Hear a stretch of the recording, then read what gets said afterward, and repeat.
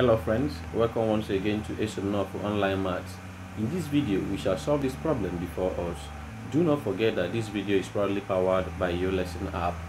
So we have the square root of square root of square root of square root of 4 all to the power of 32. Now, the best approach to solve this kind of problem is to count the number of squares we have there. How many squares do we have there? We have 1, 2, 3, and the 4.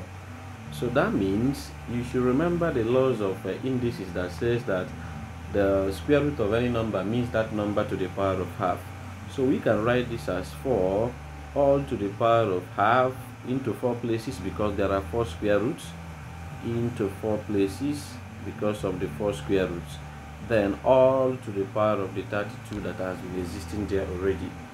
So this is now 4 to the power of half times half times half times half is the same as 1 over 16 then all to the power of uh, 32 all right? Then from this you will see that the 1 over 16 will times 32 so we have it as 4 to the power of 32 all over 16 and 32 divided by 16 is the same thing as 2 so we are having 4 power 2 and 4 power 2 implies 4 times 4 which is equal to 16 Hence, the solution to this problem is equal to 16. Do not forget that this video is proudly powered by your lesson app.